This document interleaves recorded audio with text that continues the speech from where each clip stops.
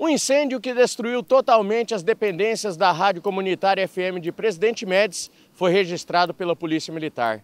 Jair Santos, o diretor da rádio, conta em detalhes como percebeu o início do incêndio. O mesmo estava na recepção da rádio quando viu os focos de incêndio. Por volta de 14 horas e 30 minutos, mais ou menos, do nada, quando eu vi o fogo já estava alastrado dentro da emissora, nos quatro cantos da emissora. A parte elétrica da emissora pegou fogo entre o forro e a brasilite em cima do teto. E nada eu pude fazer. Quando eu vi, a emissora toda já estava em chamas, né? Em chama. Aí eu me desesperei com a situação, né, desespero de um chefe, vi uma empresa se acabando ali, eu fui para a mangueira de água, fui para o balde de água e comecei a jogar água.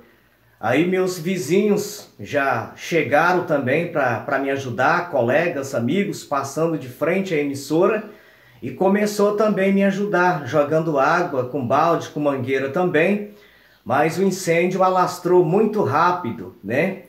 Aí eu, naquele desespero, consegui salvar a minha carteira de documento, habilitação, e meu celular uma menina conseguiu pegar para mim, porque senão eu tinha perdido todos os meus documentos pessoais, celular, enfim.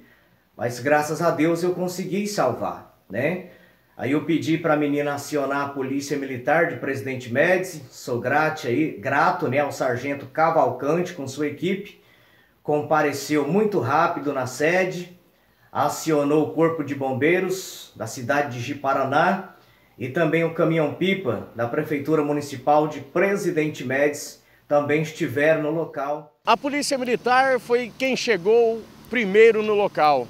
O Corpo de Bombeiros de Jiparaná foi acionado e também o serviço de caminhão-pipa da cidade de Presidente Médici. Mas, infelizmente, o fogo já havia consumido totalmente o prédio da rádio comunitária. As imagens são dele, Emanuel Bank, Anderson Gonçalves para o jornalismo da SIC TV.